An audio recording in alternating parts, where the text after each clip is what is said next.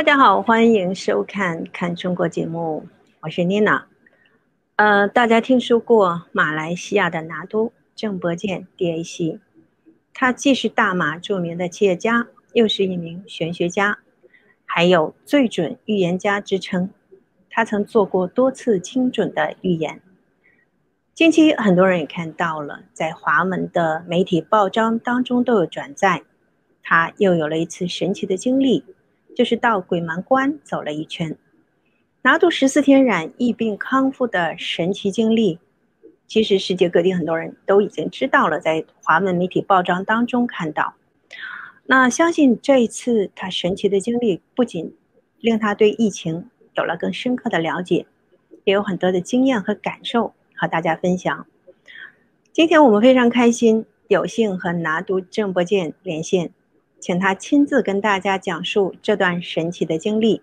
各种感受和对诗人的忠告。Hello，阿多你好，好，全世界的朋友大家好，大家好，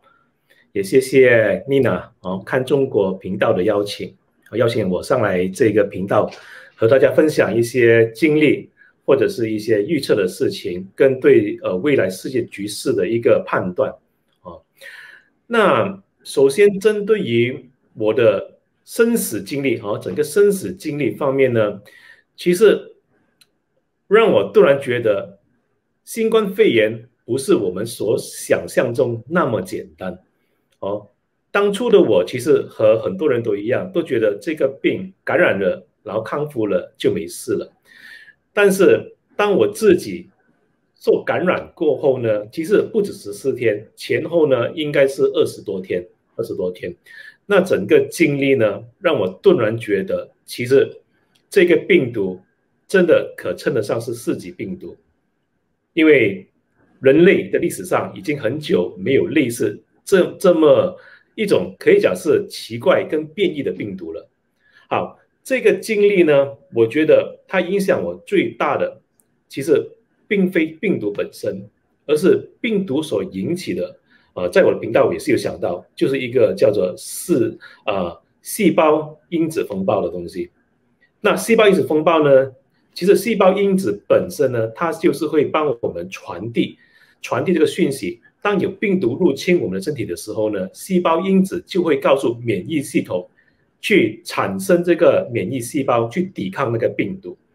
但是就是因为新冠肺炎的这个病毒呢，很特别。它会往往它会影响到整个细胞因子呢产生的一种呃变化，那细胞因子本身呢，它就会传达错误的讯息给免疫系统，所以呢，免疫系统也会失常，它也会产生过量的免疫细胞跟失常的免疫细胞，反而是攻击回我们身体的器官，所以这个我们叫做细胞因子风暴，也是。全世界很多人致命的一个理由，所以这个致命呢，基本上不是完全不完全是这个所谓的病毒本身。当然，病毒它会攻击我们的肺部，那肺部如果受感染没有医治的话呢，那可能会有这个致命的危险。但是，真正会令到我们后遗症跟更啊大的这个问题的产生呢，是因为这一个免疫系统。所以现在也包括印度，包括很多的国家的这个致病率、致死率更高的情况下呢，都是因为我们的免疫系统所影响的。而我本身呢，也是因为这个免疫系统所影响，那就知道那个情况呢，我们是唯有，其实基本上是没有药可以去抑制这一个情况的，唯有一样东西是什么呢？就是吊这个点滴，吊这个类固醇。啊，类固醇就是 steroid 啊，英文叫 steroid。那这个类固醇呢，一般人的那个所注射或者是吊点滴的分量呢，其实十二十 mg 已经是蛮多了啊。对这个类固醇，因为它本身会有一些副作用。那在我最严重的时候呢，就是我进入这个肺炎第四期的时候呢，基本上我所吊的点滴呢是二百五十 mg，就是十倍以上啊，十倍以上。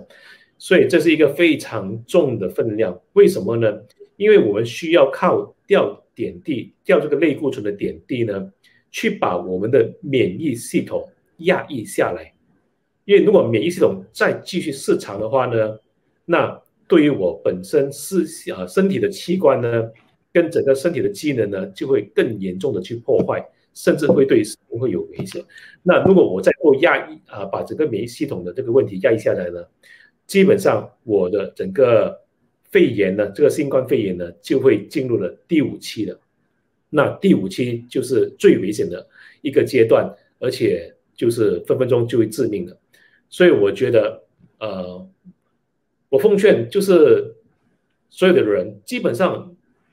免疫系统还是我们最重要、我们需要去调理的一个一个东西。就是在这个新冠肺炎的一个预防里面呢，我觉得免疫系统的正常是很重要的。所以我们的饮食、我们的睡眠、我们的心态呢，包括我们的运动呢。啊，这个都非常重要，因为我们要给整个身体的机能呢一直在运作，一直在运作，而不是等到感染了病毒过后呢，我们才去用一种药物去啊压抑下来。所以这个是我最大的感受。当然，另外一个感受呢，就是有一种突然间人生里面呢，真正的感受到一种生离死别的啊那种很特别的一种感觉。好，之前就算有一些病痛，也不会有这样子的一个感觉。这生离死别呢，就是因为这个新冠肺炎呢，我们基本上就是一个人在一间病房里面是受隔离的哦，因为我们也不允许有人来探病，不允许有别的人来呃跟我们接触哦。除了护士跟我们抽血、打针、吊点滴以外，那医生呢，每一天也是进来一次，然后每一次可能也可能是几分钟到十分钟，那他就走了。所以一整天基本上呢，我们都是孤独的一个人，哦，在这个病房里面，那那感觉呢，就是你会感觉到很彷徨、很无助，因为这个病毒就是没有药可以医治，没有药是可以真正去抵抗这个病毒的攻击，唯有靠的是你本身的身体的机能，甚至是一个免疫的能力。但是问题就是，如果免疫能力失常的话呢，免疫系统又会再攻击回你，所以更加的雪上加霜。基本上这个病毒就是那么的一个恐怖，可以讲是用恐怖来来来呃形容。而对于每一天的经历呢，都是早上大概五点半早上，啊，护士帮你打针，然后抽血了过后呢，那我们大概十一点十二点。这个医药报告就出来了，然后医生呢就会拿这个医药报告来跟我们去解析，到底我们的这个进度哦是好还是坏。所以这个呢，就有如一个生死的一个一个阶段哦。每一天你所听的那个数据呢，就好像你可能会更加的失落，你可能会觉得有进步了，你就觉得很高兴，觉得人生仿佛会有希望了。那也因为我们是受隔离的，万一万一如果真的是我们有什么事情而离开这个世界的话呢？基本上我们连亲人和亲人的最后一面我们也无法再见，这是一个很可悲的一个事情。我相信呃，在呃马来西亚现在也有很多这样的情况哦，因为马来西亚的那个呃病毒的这个感染率跟这个致病呃致命率。非常的高，现在非常的高，所以有很多的人啊，就是可能是最后通过视频跟家人道别哦，这是非常可悲的，可悲的，因为整个病毒本身呢，它已经是变种了哈，变种，而且现在尤其是这个 Delta 哈，Delta 就是由这个印度所传出来的这个病毒呢，它的致命率非常的高，而且。它的这个症状已经是变化了。之前这个新冠肺炎的病毒初期的病毒呢，基本上我们会觉得有咳嗽哦，可能是没有这个味觉和没有嗅觉，会发烧，会有或者是呃呼吸有点困难，这个是之前的没有变种的这个新冠病毒的症状。但是现在所谓的 Delta 病毒，就是印度呃所传传开来的病毒呢。这个病毒呢，现在的症状已经是产生一百八十度的整个变化了。就是呢，是什么呢？咳嗽可能会有，但是呢，也会有伤风，伤风的感觉，所以它就好像是一个感冒，就是好像是一个流行性感冒的一种症状。所以现在世界上呢，有很多人感染的也不知道，因为它基本上就好像一个流行性的感冒，就是好像呃有这个所谓的伤风啊，一些小咳嗽这样子，而他们呢就还以为是普通的感冒病。而正正因为这个原因呢，我觉得病毒也变得聪明了，他们也进化了，也让我们人类呢开始更加难的去检测到它的存在。这个是我觉得这个病毒更恐怖的地方。而真正的挑战呢，我觉得是从现在才开始，而不是去年，不是去年，因为之前的病毒基本上我们也有一套。算是蛮完善的一个防疫的一个一个方式，甚至我们有针对之前病毒的一些疫苗。好，当然我知道有人赞成打疫苗，也有人反对。好，它肯定它是有它的好处跟坏处。OK，这个我们可能待会再谈这个疫苗的问题。但是重点就是，重点就是这个病毒呢，已经是进化，已经跟之前完全不一样了。一般上的病毒呢，可能一年时间才进化一次，才变化、才变种进化一次。但是这一次的四级病毒新冠肺炎这个病毒呢，基本上每一个月都在进化，每半年时间呢已经进化了。这半年呢已经进化了大概六次到七次了，已经变种了六次到七次了。所以这是我们值得非常要注意的一个事情，就是现在的新的变种病毒呢。已不是我们之前所看到的那一个很容易对付的一个病毒，所以我敢认定，真正人类与病毒的抗战呢，是由这一刻才开始，而不是以去年的时间点作为一个判断。而且现在所有的疫苗呢，也是针对半年前甚至一年前的病毒所研发的。那到底新的这个变种病毒呢？就是我们的疫苗呢，对新的变种病毒的有效率会有多高呢？啊，这个是一个很大的一个问号。就举这个例子，英国的例子来看，英国已经有五十六八线的成年人，也就是三千万个成年人已经接种了这个疫苗啊，已经接种了两剂的疫苗。但是最近的数据表示。共有三十八千死于新冠肺炎的这个人呢，英国人呢，他们是接种了两剂疫苗的，也就是说，现在的英国呢，基本上有九十八千的感染呢是来自这个 Delta 病毒，也就是印度的变种病毒。这病毒呢非常大的感染率，而且的症状也不明显，所以九十八千的。英国人感染这个病毒呢是 Delta 病毒，而这个病毒呢，对于那一些已经打了疫苗两剂疫苗的人呢，有三十八千也会因为这个 Delta 病毒而致命。他告诉我们一个非常强烈的讯息，也就是说，现在的病毒啊，现啊，也就是说，现在的疫苗。它未必对变种病毒会产生更大的有效率。好，我要重申一句，其实基本上呢，我是完全没有反对接种疫苗。在我之前的视频呢，我也是没有反对接种疫苗。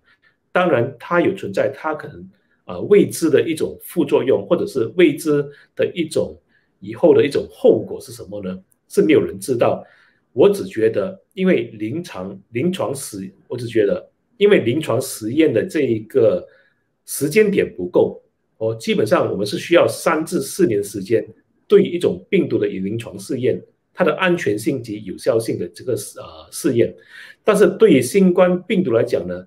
短短的半年一年时间里面呢，我们就推出了这个疫苗，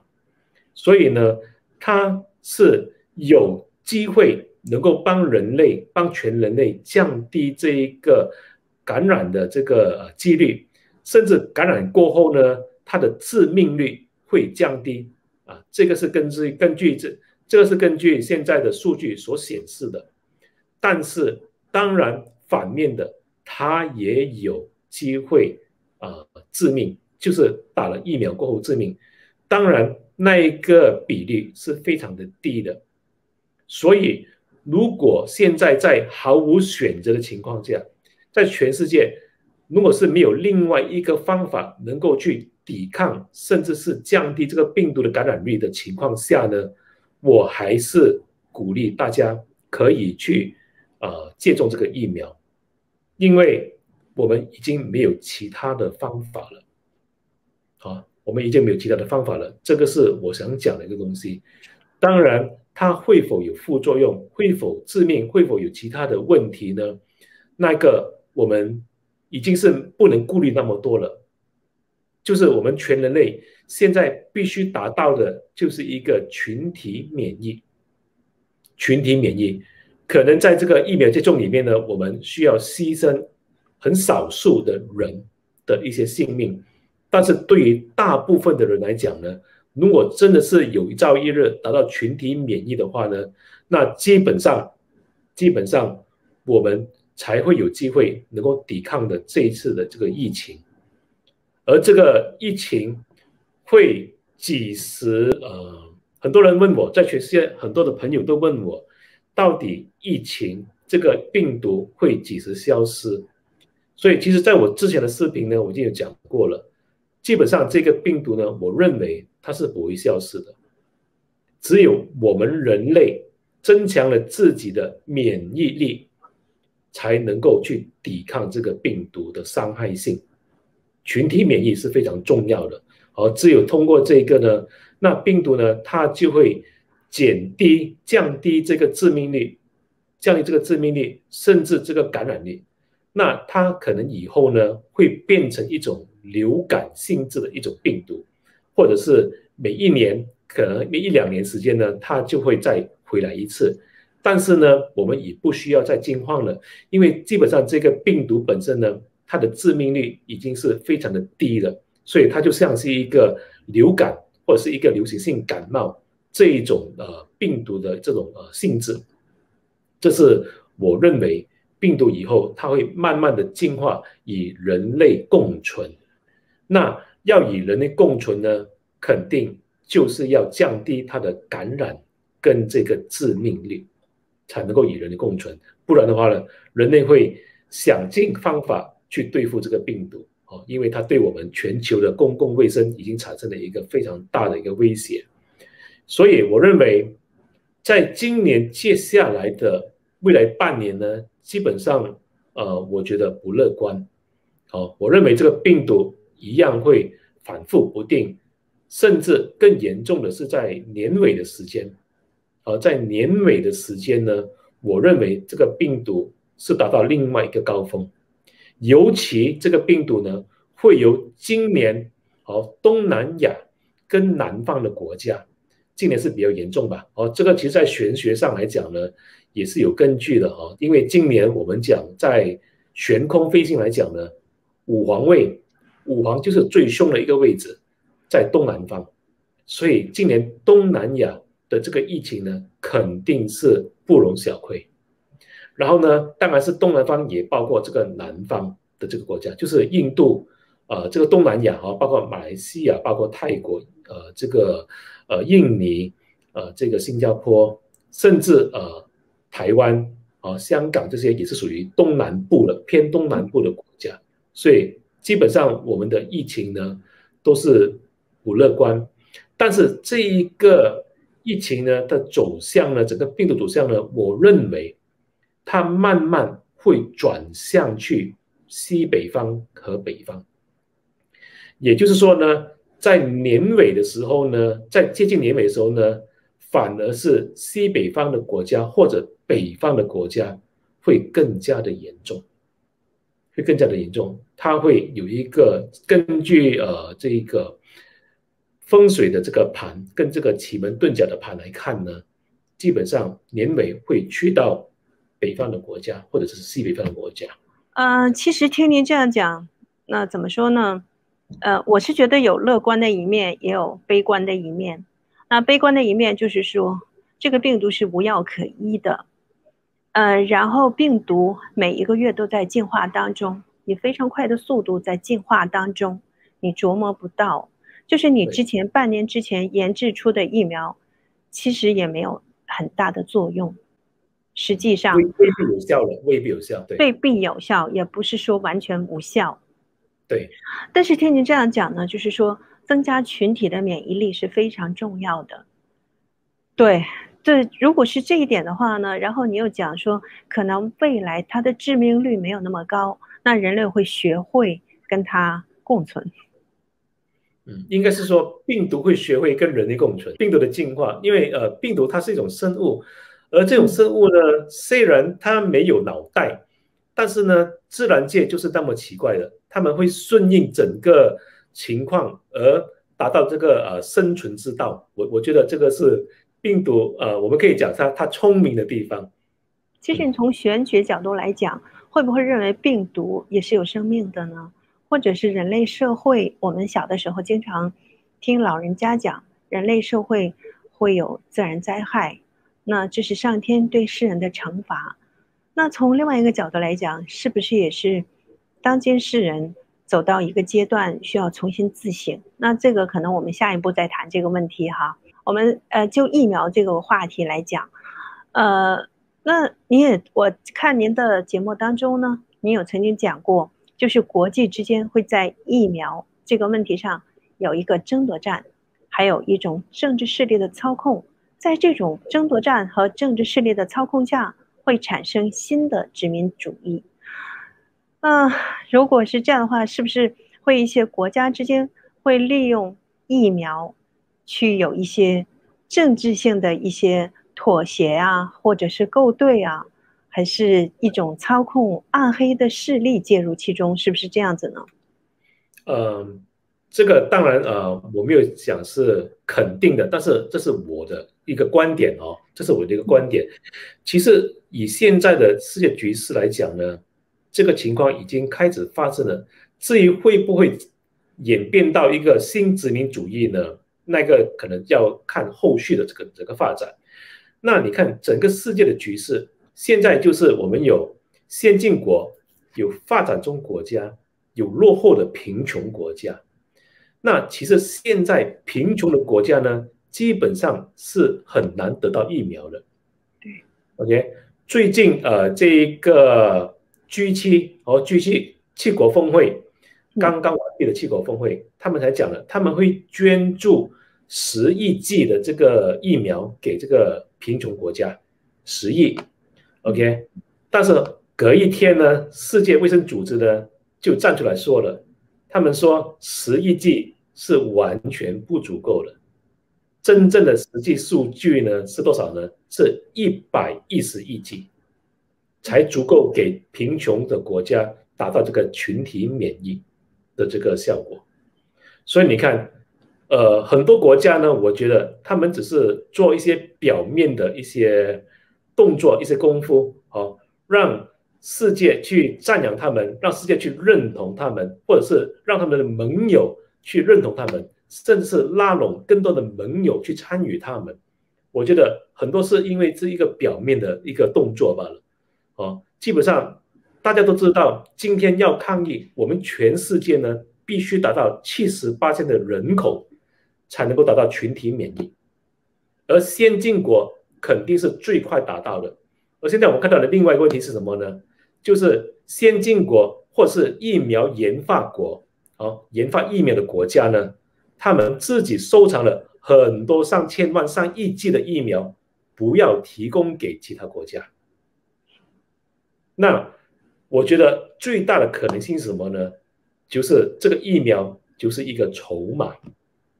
为什么这样讲呢？因为现在我们都懂，西方跟东方是有一个加啊拉锯战啊，拉锯战就是美国这个北欧啊，最近北欧峰会也是针对中国跟俄罗斯，对吧？好，也就是西方跟东方未来都会有更大的一个拉锯战。在这个新冠肺炎发生之前呢？这个战争呢是贸易战，但是现在大家想一想，整个贸易的情况好像已经被淡化了，对吧？对对对。真正能够影响未来世界，你结盟、你的盟友、你的国家有多强大的？OK，除了科技以外，就是这个疫苗，而不是战争。我认为就是疫苗的战争，在至少在这两年、三年里面，就是疫苗的战争。那我们可以通过疫苗去拉拢一些国家，如果说不好听，甚至哦，甚至去威胁一些国家。加入你的一个联盟，甚至是跟你签署一些不平等的条约，然后我就提供你们这个疫苗去救你们国家的人，所以这是我认为的。当然，这不是阴谋论，因为我觉得，呃，现在的国家，尤其是西方跟东方国家的这一个拉锯战已经白热化了，而我们也不难发现，现在啊，只是昨天的新闻，昨天是前天的新闻。这个法国，法国已经是啊公布了一个新的一个禁令，就是说呢，现在要去法国的人呢，只允许他们接种这个西方的疫苗，就是讲你只有接种了西方国家的疫苗，你才能够进入法国。如果你是打这个中国的疫苗呢，你是不被允许进入法国的。那我们从这一方面呢，我们就看得到，基本上整个疫苗已经是被政治化了。当然，中国的疫苗也是在今年的五月份才被世界卫生组织作为这个紧急批准使用。那我们也知道，呃，中这样我们其实我们都知道，中国的疫苗也是蛮不错的哦，它的这个有效率也蛮不错。它的这个致命率也蛮低的，但是为什么这个属于西方国家啊所掌管的世界卫生组织为什么会针对中国的疫苗呢？那肯定整个东西呢就是已经被政治化了，政治化了。所以我说我从未反对接种疫苗，只不过我认为这个疫苗呢会变成一种武器，让许多的先进国家去针对。哦，或是我去打压我的对手，或者是我要重新拉拢我的盟友，甚至我新的一些国家加入我的联盟，尤其是在现在西方跟东方都在积极的拉拢盟友的同时，所以这个疫苗呢就显得非常的重要了。所以为什么他们才会把这个疫苗收起来，不要提供给别人？哦，所以我觉得，呃，不是讲阴谋论，但是。它肯定会有政治化的一个情况，而且呢，西方国家，尤其是美国，在印度非常严重的时候，在四月份、五月份，在印度的疫情非常严重的时候，美国也不愿分享它的疫苗的专利、它的研发专利给印度。为什么呢？因为这研发专利呢，就是他们最强的一个筹码。如果我们是抱着真的是要呃，去帮助世人，就帮助全世界的话，一同去抵抗这个疫情的话呢，我们应该就放弃这个专利，我们就应该把所有东西分享给全世界的人，让全世界的国家更加呃快速的去研发更加多种类的疫苗，那我们才有可能去达到七十八线的群体免疫。如果现在只是其中几个国家研发疫苗的话呢？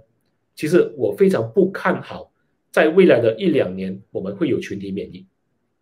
如果是要靠这个疫苗所达到的群体免疫七十八线呢？其实我不看好。只有先进国或者是疫苗的研发国，在你们可以在在这些国家，它可以公开公开这个 formula 啊，这个方方案，这个疫苗研发的这个里面的这个元素。哦，里面的这个呃所谓的那个那个东西，那我才觉觉得公开了给全世界不同的国家一同去研发更加多种类的疫苗出来，那整个呃进度呢才能够达到更快。现在我们看的许多的国家先进国，他们都是只顾着自己的国家的人，对吧？好，这国家就是尽量要。快速的接种疫苗，达到群体免疫，但是呢，甚至是他们邻国，他们也不会去照顾，甚至他们的盟友他们也未必会照顾，只是在媒体表面上去宣布一些可能捐赠疫苗的一些动作罢了。所以我觉得整个东西都非常的虚假，也也应验了今年的整个值年卦。而值年卦就是山火壁卦，山火壁卦呢，就是整个呃森林哈，森林原本是青葱茂盛的，结果山下面来了一场大火，那火由下烧至上，因为山火壁呢，就是上面是火啊，上面是山，山火壁呢，上面是山，下面是火，火从下烧至上，而这个问题呢，也就是说，迟早在今年的，尤其是下半年里面呢。真相就会慢慢被揭开，问题呢也会慢慢的开始被揭发，然后慢慢的出现了。